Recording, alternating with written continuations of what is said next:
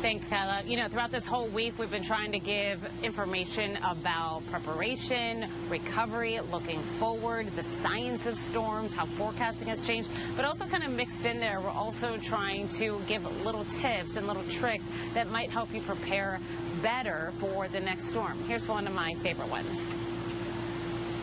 We always tell you to get gas before the storm arrives, but the lines are always so long, and sometimes they limit how much gas you can get. So how do you avoid those lines? Get gas now. I mean, really, right now, before any storm is headed our way. Always have at least 15 gallons on hand, but gas does expire. So make sure you use this tip to help you out. Use some painter's tape and write the date that you filled this gas tank up. If you haven't used it in a few months, then fill your car up with the same gas.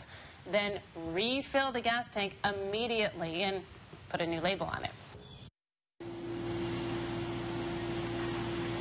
So the message is prepare, prepare, prepare. Always early, always early. If you want more tips, and always head to our NBC2 Hurricane, Hurricane Guide Plus. It's on our website, it's on our app. It's a great tool, and we update it as needed throughout storms.